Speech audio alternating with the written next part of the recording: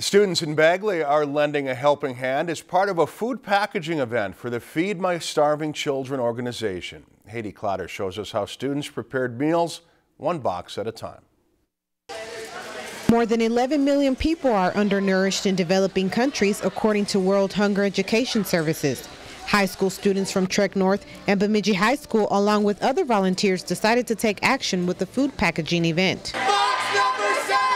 Feed My Starving Children is a nonprofit organization that sends nutritious meals to malnourished children in more than 70 countries. Within those countries, we have um, right around 200 partnerships and those are uh, people who are on the ground and they know the kids by name, they know their stories, they're able to get them these meals that are packed. The Bagley Arena turned into a food hub where more than 100 volunteers were at each station preparing meals. Some were measuring ingredients, checking the weight, and then sealing the bags. About 20 or so vitamins, veggies, dehydrated potatoes, and carrots soy, and then rice.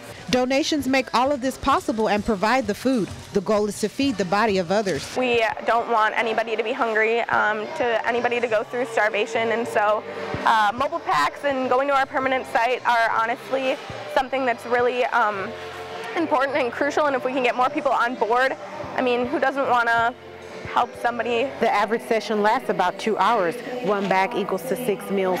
One box is 36 bags, and one of these pallets is 36 boxes, which equals to over 7,000 meals. Event coordinator Michael Davis says doing something like this unites everyone. It maybe wakes people up some to the fact that, hey, we, we, we've got it way better than most people, so we need to get with it, you know, and help people out. At the end of the shift, more than 24,000 meals were packaged and ready to go. That's enough to feed 66 children for one year. In Bagley, Haiti Clotter, Lakeland News.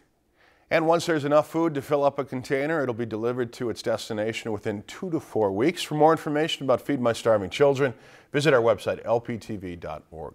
If you've enjoyed this segment of Lakeland News, please consider making a tax-deductible contribution to Lakeland Public Television.